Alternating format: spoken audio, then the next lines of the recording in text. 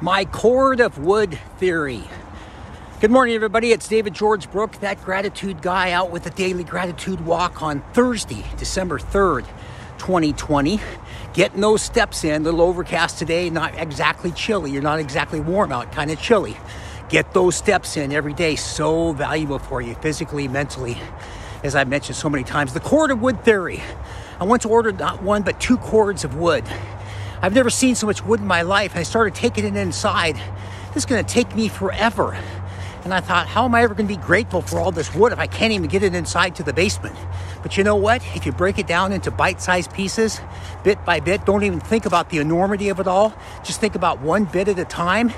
Sure enough, two or three hours later, it was all inside. So take your big challenges like that and break them down into just bite sized pieces. That's the message for the day. Remember, be grateful and never quit.